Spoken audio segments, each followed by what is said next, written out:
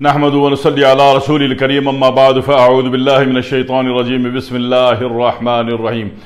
अल्लाम वरहमल वर्क आदि से ज़्यादा दुनिया के अबाब परेशान है कि भाई हमको देसी घी चाहिए, असली घी चाहिए, और देसी घी में एतबार की कैफियत। जिन्होंने अपनी मसनू और घटिया चीज़ मार्केट में प्रोडक्ट करनी होती है, आपकी असली चीज़ों के बारे में शकू को शुभात पैदा कर देते हैं। ये याद रखिएगा। तो ऐसे शकू को शुभात पैदा करते हैं कि आप अपनी असली और हकीकी चीज़ों से महरूम हो जाते हैं, आप उनको छोड़ देते हैं इग्नोर कर देते हैं और आप उनकी मसनू और घटिया ब्रांड में फंस जाते हैं, जो कि हंड्रेड परसेंट ब्लीच और कास्टिक से तैयार होता है, जितना भी मसनू सामान है खाने पीने का ऐसी सूरत में समझ लीजिए कि देसी घी आज के बाद से आप खुद बनाएँगे और अच्छा तरीन बनाएँगे। और देसी घी आपके ऊपर है कि देसी घी आपने को बना के आपने उसको गाय के देसी घी में कन्वर्ट करना है, या जनाब अली आपने उसको भैंस के देसी घी में कन्वर्ट करना है। आपको बॉडी में सिर्फ़ ताकत बनानी है पावर जनरेट करनी है तो आप उसको गाय के देसी घी में कन्वर्ट कर दें। और अगर आपने उसको बॉडी जो है, आपने अच्छी मोटी बनानी है, भारी भरकम, हमटी डमटी हाइपो तो फिर आप उसको भैंस के घी में कन्वर्ट कर दें। तो ये आपके अख्तियार में होता है। तो आपकी खातन जब भी दूध उबालती हैं तो दूध उबालने के बाद उसमें से मलाई निकाल लेती हैं जब वो ठंडी होती है तो। वो मलाई या फ्रिज में जमा करी जाए। ये झगड़ा ही ख़त्म करें कि देसी घी कहाँ से मिलेगा, असली कहाँ से मिलेगा, खालिश कहाँ से मिलेगा। और भाई, देसी घी घर में पैदा होता है। आपके अपने घर में देसी घी पैदा होता है। ये मैं चंद मुल्कों की बात कर रहा हूँ, जहाँ इस नुस्खे की ज़रूरत है। वरना अमेरिका में तो आप दूध खरीदो एक घंटा रख दो, नब्बे फ़ीसद वो देसी घी होता है, दस फ़ीसद दूध होता है, उसमें दस किलो पानी मिलाओ तो वो दूध बनता है। लेकिन हमारे यहाँ तो माशाल्लाह माशाल्लाह, हमारे यहाँ ढूंढना पड़ता है देसी घी कहाँ होता है। अमेरिका वाले इसको बटर ऑयल कहते हैं, और इतना कसरत, इतना फरावा है कि आपको हर जगह मिल रहा है आपको। गैलन की गैलन मिलते हैं, और हंड्रेड परसेंट असली होता है। उसमें नहीं सोचना होता है कि असली है क्या नकली है। कोई दो नंबरी नहीं होती उसमें। लेकिन हमारे यहाँ फिर आपको ये सब बनाना पड़ेगा अपने हाथ से। तो ये झगड़ा खत्म कि देसी घी असली कहाँ से मिलता है और असली कैसे बनता है, खुद बनाना है आपने। तो आपकी जो बेगमात हैं अच्छी अच्छी सी खातून, वो जब भी दूध ठंडा हो जाता है उबालने के बाद तो उसकी मलाई को साइड करके एक बर्तन में जमा करती हैं। वो बर्तन देख लो कि उसमें एक किलो मलाई हो गई फ्रिज में रखती है ना। तो उसको जनाब वाली ग्राइंडर पर डाल दो थोड़ा सा बर्फ़ डाल दो, चला दो, ग्राइंड कर दो। तो चारों साइडों में बहुत बेहतरीन किस्म का मक्खन जमा हो गया। ये तो मक्खन बन गया। मक्खन भी आपने बनाया और खुद बनाया। ये मक्खन बन गया। अब अगर आपने इसको देसी घी में कन्वर्ट करना है, फिर जनाब अली आप क्या करेंगे कि आप इसमें देसी घी पे बनाना है तो फिर ऐसा बनाया ना कि पूरी गली में खुशबू होनी चाहिए। पूरी गली में खुशबू होनी चाहिए कि आपके घर में जो भैंस का अंडा है, भैंस का या शुतर मुर्ग का, भैंस का तो होते नहीं, कहने की बात है। जो शुतर मुर्ग का अंडा है, वो मुर्गी का अंडा है, किसी भी चीज़ का अंडा अंडा तो है। तो वो जो फ्राई हो रहा है, वो देसी घी में फ्राई हो रहा है। देसी घी की खुशबू होनी चाहिए कि भाई देसी घी है।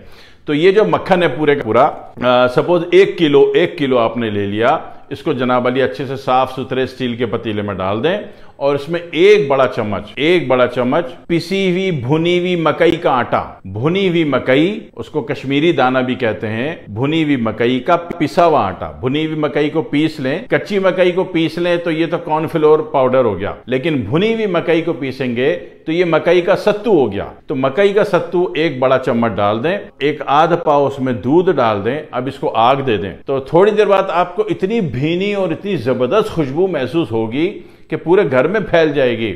जब ये खुशबू आ जाए तो समझ लें आपका काम हो गया, आपका मक्खन जो है देसी घी में कन्वर्ट हो चुका है।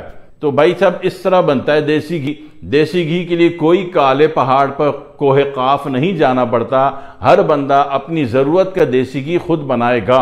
और देसी घी आपके घर में होना चाहिए। हमारे बेवकूफ़ बनाने वाले कहते हैं कि देसी घी से कोलेस्ट्रोल होता है, ये होता है, वो होता है। जो डाइल मतलब है कि जो बाजारी कुकिंग ऑयल जो है, जो बाजारी ऑयल हैं, जो बाजारी जनाब वाली चीज़ें हैं उसमें जो ब्लीच और कास्टिक डालते हो, वो आपको काबिल कबूल है। देसी घी खाने में जनाब वाली इससे कोलेस्ट्रोल होता है फलाना होता है कुछ भी नहीं होता। देसी घी खाने से कोई कोलेस्ट्रोल वोलेस्ट्रोल नहीं होता। सब बेकार की बातें हैं। आपको हकायक से दूर करके मसनूयत में मरवा दिया गया गड़वाया गड़वाया जा रहा है और आप गड़े जा रहे हो। बात यह कि आपकी बॉडी में डेढ़ वोल्ट का टेम्परेचर वैल्यू होती है। भाई, डेढ़ वोल्ट टेम्परेचर ना हो तो बॉडी ठंडी है तो मौत है। ठीक है ना? ये तो मरा हुआ है ना बंदा?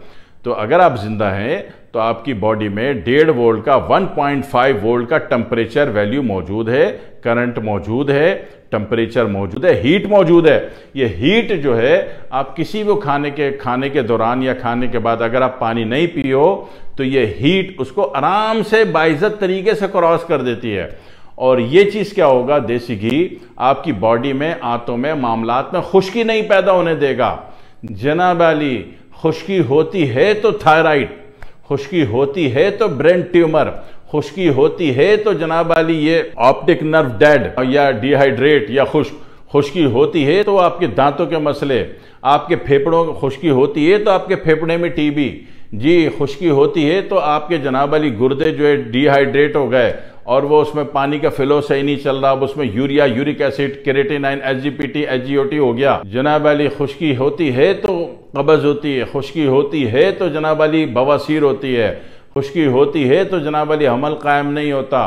बात समझ में आ रही है, खुश्की है तो फिर जनाब वाली स्पम सीमन की वैल्यू नहीं बनती। तो ये सारी खुश्कियाँ क्यों हो रही हैं आपके अंदर? सर में खुश्की, बालों में खुश्की, आँखों में खुश्की, होंठों में खुश्की, नाखूनों में खुश्की, स्किन में खुश्की, सारा भिड़ गरक सर से पाँव तक जो खुश्की हो रही है, वो इसलिए कि आपके जो आबा अजदाद ने आपको देसी घी समझाया था, उसको आपने छोड़ दिया।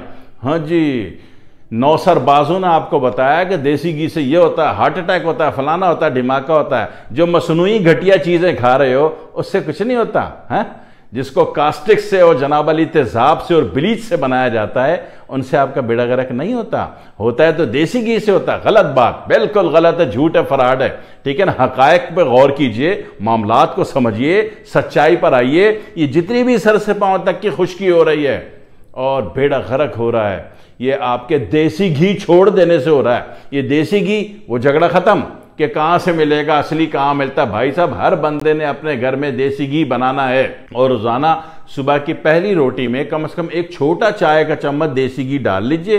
रोटी पक चुकी हो, उसके ऊपर लगा लीजिए, उसको पराठे की तरह पकाए के ज़ा नहीं करें उसको, ऊपर से लगा लें। ठीक है जी? तो आपका देसी घी तैयार हो गया, आपने बनाया। ये सर से पाँव तक निन्यानवे फ़ीसद बीमारियाँ खुश्की की वजह से हो रही हैं। खुश्की।